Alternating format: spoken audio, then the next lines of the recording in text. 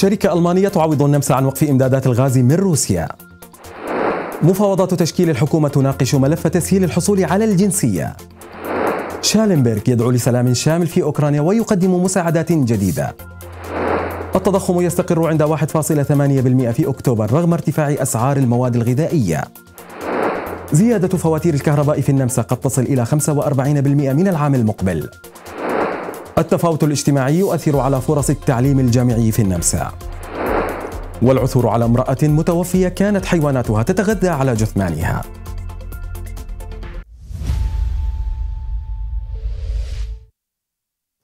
السلام عليكم مشاهدينا وإلى حضراتكم نشرة الأخبار وفي التفاصيل. أعلنت شركة ألمانية مشغلة للنفط والغاز أن محطة استيراد الغاز الطبيعي المسال في موكران بجزيرة روغن تمتلك قدرة دعم فوري. لإمدادات الغاز النمساوية بعد تعليق روسيا إمداداتها لشركة أو إم فو النمساوية.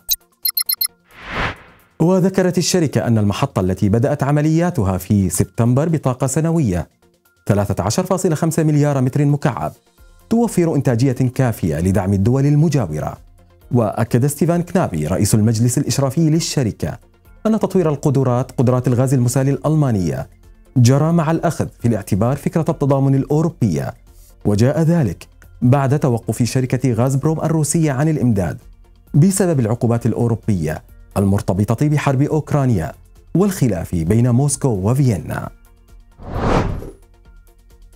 تعتزم الأحزاب الثلاثة حزب الشعب والاشتراكي ونيوس مناقشة ملف الجنسية النمساوية ضمن مفاوضات تشكيل الحكومة الجديدة حيث برزت خلافات واضحة بينهم.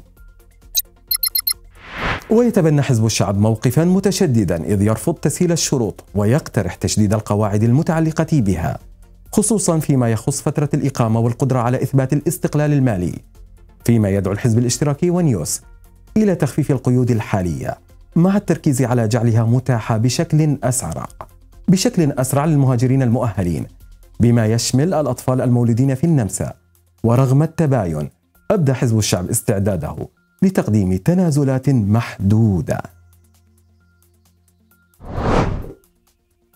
دعا وزير الخارجية النمساوي ألكسندر شالنبرغ إلى إنهاء فوري لحرب أوكرانيا مؤكدا ضرورة أن يكون السلام شامل وعادل وفق القانون الدولي.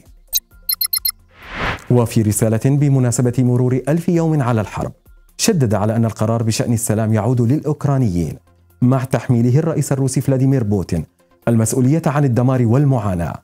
وأعلن شالنبرغ عن تقديم 8 مليون يورو إضافية كمساعدات إنسانية منها 5 مليون لمشروع إزالة الألغام لتحسين الأراضي الزراعية وثلاثة ملايين للصليب الأحمر الدولي ومنظمات أممية لدعم الجهود الإنسانية في أوكرانيا ومولدوفا مؤكدا أهمية عدم إفلات المسؤولين عن الحرب من العقاب.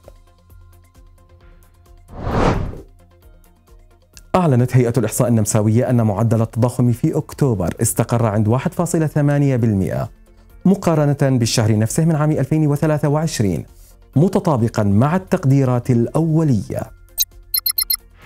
وبقي التضخم للشهر الثاني تحت هدف البنك المركزي الأوروبي 2% بينما ارتفع متوسط الأسعار مقارنة بشهر سبتمبر بنسبة 0.3% وأوضح المدير العام للهيئة توبياس توماس أن انخفاض أسعار الوقود والطاقة كان له أثر كبير في خفض التخ... في خفض التضخم رغم استمرار ارتفاع أسعار المواد الغذائية بوتيرة أعلى هذا وقد سجلت الملابس أعلى زيادة شهرية بنسبة 3.5% في حين انخفضت تكاليف الطاقة المنزلية بنسبة 2.9%.